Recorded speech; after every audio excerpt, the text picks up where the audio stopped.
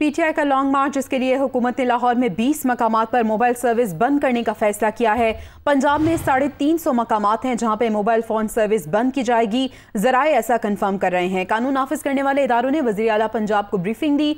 वजी अला पंजाब ने इन मकाम पर मोबाइल फ़ोन सर्विस बंद करने की मंजूरी दे दी। कौन कौन से मकाम हैं, ये जान लेते हैं। हसन रजा हमारे साथ मौजूद हैं। जी हसन।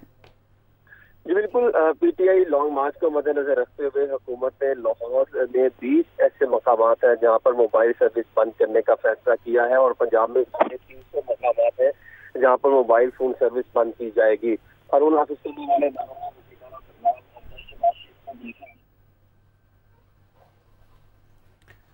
हसन से हम दोबारा रबता करेंगे। आपको बताएँ, पाकिस्तान तहरीक इंसाफ का लॉन्ग मार्च, जिसके लिए हुकूमत ने हमत अमली अपनाई है। लाहौर में 20 मकाम पर मोबाइल फ़ोन सर्विस बंद करने का फैसला किया गया है।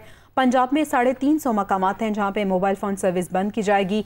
कानून नाफिज करने वाले इदारों ने वजी अला पंजाब को ब्रीफिंग दी। वजी अला पंजाब ने इन मकाम पर मोबाइल फ़ोन सर्विस बंद करने की मंजूरी दी है। हसन से हमारा रबता बहाल हुआ है। जी हसन, बताइएगा। लाहौर के बीस मकाम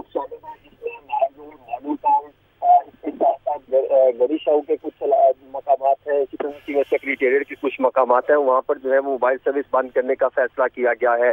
पंजाब में साढ़े तीन सौ मकाम है, जहाँ पर मोबाइल सर्विस बंद की जाएगी और आज भी कुछ अहम मकाम पर मोबाइल सर्विस बंद होना शुरू हो चुकी है, जिसमें इस्लामपुर का इलाका है मॉडल टाउन के कुछ इलाका जात है इसी तरह कुछ इलाके हैं जहाँ पर मोबाइल सर्विस बंद करने का फैसला किया गया है। इस हवाले से महकमा दाखिला पंजाब ने बाकायदा तौर से पाकिस्तान टेलीकमिशन अथॉरिटी को खत लिख दिया है और ये कहा गया है कि फौरी तौर पर मोबाइल सर्विस बंद करने के हवाले से इकदाम किए जाए ताकि जितने भी अफराद अगर निकलना चाह रहे हैं, जो हुकूमत ने पॉलिसी बनाई है कि किसी भी सूरत लाहौर से और दीगर इजला से इस्लामाबाद की तरफ़ आवाम ना निकले और कोई मार्च उसके वहाँ की रवाना ना हो सके। जिसके लिए उन पहलू में से जो इकदाम किए गए एक एक इकदाम मोबाइल सर्विस को बंद करने का फैसला था। पर अमद दरामद करवाने के लिए भरपूर इकदाम किए जा रहे हैं, क्योंकि ये वो मकाम है जहाँ से, उन्होंने ये प्लानिंग तश्कील दी थी कि हम व्हाट्सएप ग्रुप में बताएँगे कि किस मकाम पर इकट्ठा होना है और वहाँ से हम कैसे जो है वो काफिले की सूरत में निकल सकते हैं, ताकि अगर कहीं पर पुलिस रोके तो वहाँ पर जो है वो भरपूर तरीके से मुजामत की जा सके और अपने जो है वो इस्लामाबाद की तरफ़ रवाना हो सके। जिस तमाम सिचुएशन को मद्देनजर रखते हुए मोबाइल फ़ोन सर्विस बंद करने के हवाले से इकदाम किए गए हैं। ठीक है, बहुत शुक्रिया हसन रजा, आपने हमें अपडेट किया।